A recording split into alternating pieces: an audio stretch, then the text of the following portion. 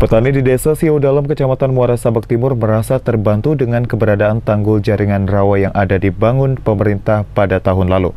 Selain produktivitas meningkat, lahan pertanian dan perkebunan petani setempat kini tidak lagi terkena dampak banjir. Pembangunan tanggul jaringan rawa di Desa Siau Dalam Kecamatan Muara Sabak Timur mendapat apresiasi dari masyarakat setempat.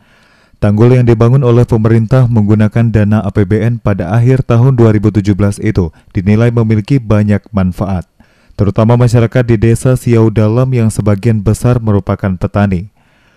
Menurut sejumlah petani di desa Siau Dalam, tanggul jaringan rawa ini mampu membuat lahan perkebunan pinang, kelapa sawit, kelapa dalam, dan lahan persawahan padi mereka tidak terkena banjir.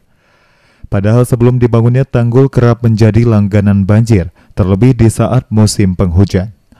Selain itu, tanaman para petani juga lebih baik dari sebelum dibangun tanggul jaringan rawa ini. Sebelum ada tanggul, ya sering ada banjir dan juga paritnya ini dangkal, susah ngeluarkan kayak hasil sawit ini kan, ini kan pakai perahu pak. Hmm.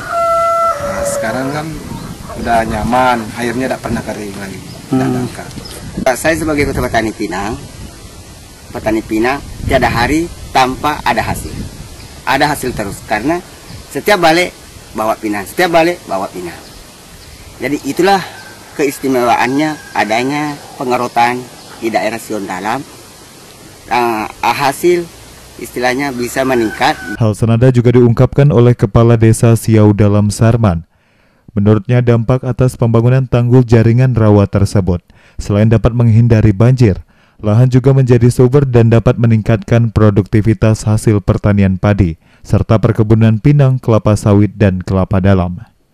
Yang mana dulunya sebelum kita digali oleh Balai Sumatera 6 ini sangat susah. Eko Wijaya, JEK TV melaporkan.